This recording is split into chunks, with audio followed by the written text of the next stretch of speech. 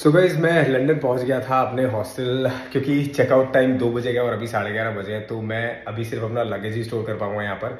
But यहाँ पर मुझे एक बड़ा ही यूनिक सिस्टम नज़र आया I wanted to share with you guys ये मेरे सामने आप जितने भी लॉकर्स देख रहे हो, ये सब आप रेंट आउट कर सकते हो और ये सब ऑटोमेटिक है।